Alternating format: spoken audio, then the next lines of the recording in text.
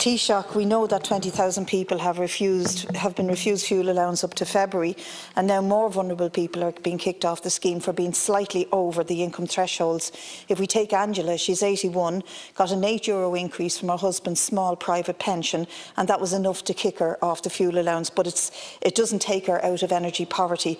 The bigger issue here, apart from Angela, is that the fuel allowance scheme does not capture all those in danger of energy poverty. So my question to you is, will you ensure that the department do not remove anyone else from the scheme in cases where small income increases do nothing to remove them from the trap of energy poverty? Thank you, Taoiseach. Yeah, as I say, in the context of the budget and that, I think income thresholds in respect to the fuel allowance will be looked at, certainly. Um, we, are, we are very conscious of the constraints that are there from an income threshold perspective. Claire Kerrane.